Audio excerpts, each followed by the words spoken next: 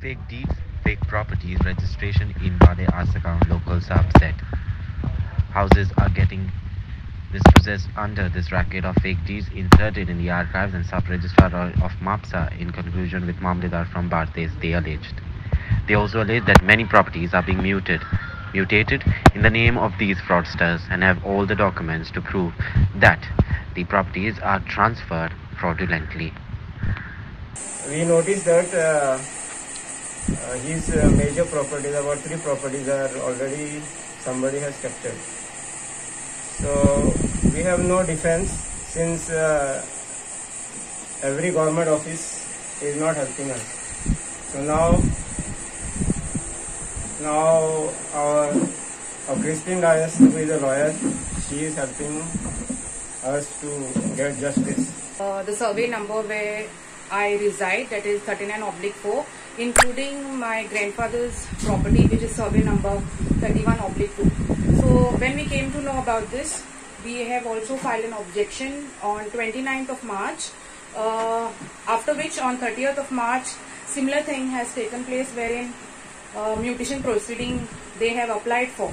So now uh, we had two hearings for which we had to go, by which the Mamlatdar as well as the opposite party they were not present. So third date is given to us on 8th of June. This plot was already put out for sale and we were given a 15 days notice to clear all the things. It was my friend Nelson's son who saw it and informed my daughter because I am in Dubai and then from there we spoke to Christine and we started the procedure to get it back. When you came to know? Maybe we came to know somewhere on uh, 7th or something of uh, April. How much It can was you put say? out for sale with a 15 days notice. Now, uh, I have one suggestion is we also go through the economic offences wing because this is a massive fraud. No? We can approach them also. 29th of March, we put the objection. On the 30th of March, there was a sale deed registered to the buyer named Benchu K. James.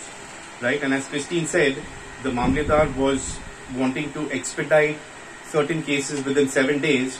But for my case, I haven't got a hearing initially. The first initial hearing was not up to two weeks. Right? He was not giving me a hearing date of two weeks. Only when Christine intervened, they formally said that they would give us a date. So there's a lack of procedure for sure. There might be some self-vested interest for sure because in certain cases they want to expedite it, in certain cases they don't want to do it. according to these deeds, which is accepted by the revenue authorities, are based on facts or sold by people who were not even in existence at that point of time. Basically, what they are doing, they're taking the Form 1 and 14 of the present owners, inserting those names in the 1951 deeds, and executing these deeds of sale, subsequently on basis of succession deeds, and totally, and all mutation proceedings are without any procedure. Prakash Gadikar for Herald TV. Thank you.